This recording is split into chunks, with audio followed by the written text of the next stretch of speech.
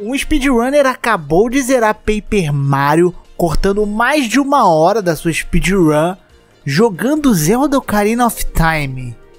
Cara, como que esse cara fez isso? Como isso é possível? E, e que desgrama de título foi esse que eu coloquei que parece que tá tudo embolado e que não faz muito sentido? Mas até que faz. Sim, vamos falar do cara que zerou Paper Mario, diminuindo uma hora do recorde mundial, jogando Ocarina of Time ao mesmo tempo, para poder bugar o Paper Mario. É, isso é possível e nós vamos falar e tentar explicar este caso bizonho. Então, deixa eu começar o vídeo, puxa seu banquinho, senta aqui do nosso lado, deixa seu like também, se inscreve no canal e vambora pro vídeo.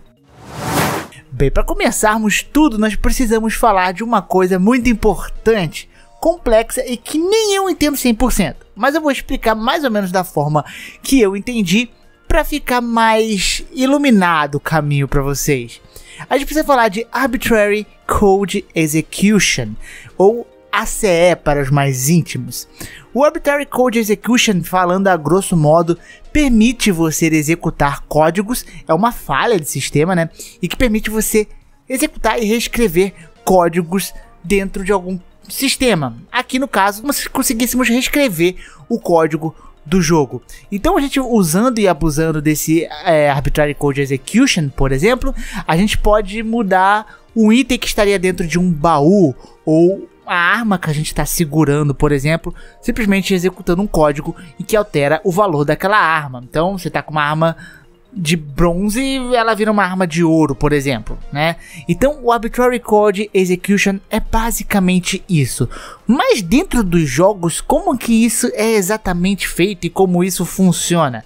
Então, toda a memória do jogo, ela tem valores, é uma série de valores aí, e cada coisinha que você faz ele altera algum valor na memória. Se você mexer o personagem para a direita, por exemplo, girando a câmera, são uma série de valores que vai mudar o valor da câmera, o valor da posição do personagem, o valor do botão que você pressionou, às vezes o valor do que renderizou ali conforme você girou o personagem. Então as memórias estão sempre se alterando, modificando, fazendo uma série de coisas ali em background que você não vê que está acontecendo, porque está tudo ocorrendo dentro do console, dentro do programa em si. E isso daí é muito necessário para realizar alguns bugzinhos. E talvez o que mais lembra aí, né, embora várias speedruns usem isso, é o último bug que foi descoberto aí há um tempinho atrás de Ocarina of Time. Eu trouxe um vídeo aqui no canal há muito tempo, vira e mexe eu menciono essa speedrun aqui, porque ela simplesmente derrubou o tempo das speedruns antigas neste novo método. E se você for assistir a speedrun, ela não tem muita graça, ela não faz o menor sentido para você, porque tudo que você vai ver é o Link se movendo de formas meio aleatórias e simplesmente parecendo que tá fazendo um monte de bugzinho e gracinha, só que do nada, pam, o jogo acaba. Então o que acontece, né? Explicando o Ocarina of Time primeiro. Basicamente, os caras conseguem, eles descobrem, destrincham o jogo, usam modos debug para saber o que eles estão alterando da primeira vez. Então, eles conseguem descobrir séries de movimento usando os atores, né? Atores são basicamente tudo que tem ali no cenário, seja NPCs, pedras, o Link, ele usa esses atores para manipular e tentar ali conseguir setar valores e tacar valores dentro da memória, fazer a memória executar um teleporte para o final do jogo. E para você fazer isso, você precisa escrever um código com base na memória do jogo. Então, você modificando, por exemplo, posição do link, fazendo o link entrar em certos lugares, ir até tal ponto, exatamente até tal ponto, precisamente, né? Porque precisa ser certinho, ele vai colocar um valorzinho, vai gravar outro valor e no final, juntando esses valores malucos, vai chamar o final do jogo.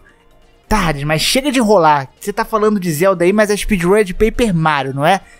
Mesmo o cara jogando Zelda, né? O cara tem que jogar o Paper Mario, não tem? Então, calma, vamos lá pro Paper Mario. Há um tempo atrás, um jogador chamado Morfeu, jogando Paper Mario, acabou travando o jogo no menu, o jogo realmente congelou, algo que foi bem esquisito. E a galera ali, curiosa a investigar, descobriu que o jogo ele funciona de uma forma peculiar. Ele tem um espaço no, na memória que serve para salvar temporariamente efeitos do jogo. Então, se o Mario, por exemplo, bate com o martelinho ali, ele salva na memória. Se tem algum efeito de fumaça, alguma coisa, tudo é salvo nesta memória. E você ficando fazendo isso abrindo o menu, você consegue sobrecarregar esse espaço da memória do jogo, né? E fazer o jogo se comportar diferente. Ou seja, por aquele espaço estar sobrecarregado, ele começa a ler uma parte da memória que não era para ele ler. E esta parte da memória em específico é uma parte que é simplesmente lixo de código, é código jogado fora. Tá ligado aquelas fases bugadas lá que descobriram do Mario do Nintendinho? Então, é basicamente isso, aquelas fases que você não consegue terminar. É código lixo, muita coisa jogada fora, às vezes do desenvolvimento mesmo que não usa. E o jogo parando naquela parte, como aquele código não era para ter sido lido pelo jogo, o jogo não sabe como se comportar por ter caído nessa parte da memória que tem os lixos e ele simplesmente congela e trava. E aí, né, começaram a estudar possibilidades de conseguirem executar códigos específicos, códigos arbitrários, né, fazendo alguns processos nesta zona, né, nessa zona de lixo, ou seja, quando abrisse ali o menu, ao invés de travar, poderia, por exemplo, ir para o final do jogo. E de fato conseguiram, fizeram isso com uma tool assisted speedrun, que é basicamente scripts, né, computador fazendo uma série de movimentos e conseguiram, né, desta forma fazer o código arbitrário e executar ele na parte da memória ali que estava apenas com tranqueira. Mas isso era humanamente impossível de ser feito, apenas pela máquina, né? Você fazendo uma série de movimentos era tão preciso que não dá para você acertar isso aqui, por mais que você treine, é quase impossível. Então, aí que começou a entrar quem? Ocarina of Time no bagulho. Antes da gente ir pro Ocarina of Time, a gente precisa falar de um acessório que tinha pro Nintendo 64 que aumentava a capacidade dele de memória, que era o Expansion Pack. Tinha alguns jogos específicos que usavam ele, tipo Majora's Mask. Este módulo adicionava 4 MB de RAM, que na época era muita coisa, né? E aí alguns jogos, como eram mais, é, mais pesados, maiores, armazenavam ali nele, né, alguns dados. Então, isso daí servia também de uma forma de memória. Só que, tipo, o Paper Mario, nem o Ocarina of Time, que é usado para fazer o bug, eles salvam nesse expansion pack. Eles não usam, né? Eles são jogos que não usam. Mas, se você for por um determinado ponto do jogo e ficar exatamente 69 segundos com o Mario parado antes de você liberar os efeitos para sobrecarregar a memória, o jogo ele simplesmente né, sobrecarrega a memória e ao invés dele ler um lixo do cartucho, ele vai ler o lixo da memória de expansão, do expansion pack. Ou seja, dá para guardar coisa no expansion pack, código arbitrário para executar dentro do jogo. Afinal, se você trocar suas fitas, esse código fica armazenado na fita, né? A fita que armazena o jogo em si. E agora não, agora o código vai ser armazenado no expansion pack. E agora vamos pro Ocarina of Time realmente. No Ocarina of Time ele faz aquele esquema todo do, da speedrun de Ocarina of Time, que é fazer uma série de movimentos aleatórios, mas é obviamente que ele está sobrecarregando a memória, está escrevendo um código que ele quer, né, que vai endereçar esse código especificamente para o final do jogo do Paper Mario. Esse código vai ser armazenado no expansion pack, então ele fez a série de movimentos lá e escreveu o caminho que vai ser a série de códigos, por exemplo, que vai ser do final do jogo e armazenou no expansion pack. E então o que acontece? Se o Nintendo 64 for desligado, esses valores se perdem, porque a memória é o armazenamento temporário, diferente de um HD, por exemplo, que é um outro tipo de memória. Então, você desligando o console, você perderia esses, esse código arbitrário que ficou salvo no cartãozinho de expansão.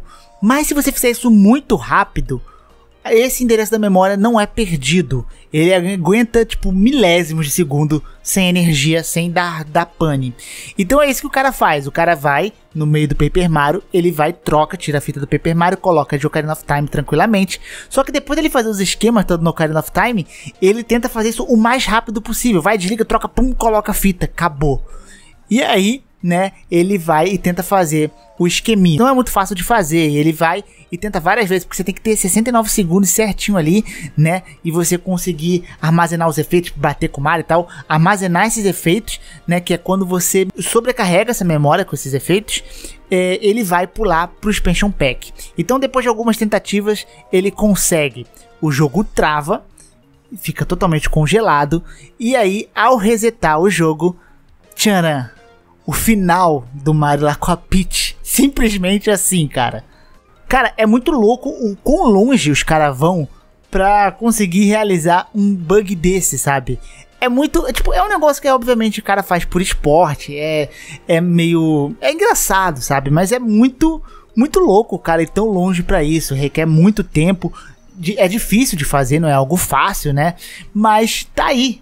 E se vocês estão se perguntando como que descobrem essas coisas, é mais ou menos assim. Acontece um bug em live, a galera investiga esse bug, tenta executar esse bug e descobre que esse bug abre um leque para outras falhas dentro do jogo. E é assim que vão se descobrindo as paradas, mano.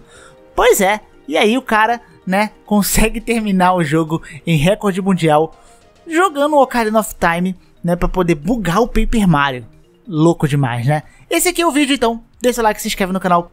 Eu fico por aqui, grande beijo, grande abraço, um beijo no popô. É nóis e fui!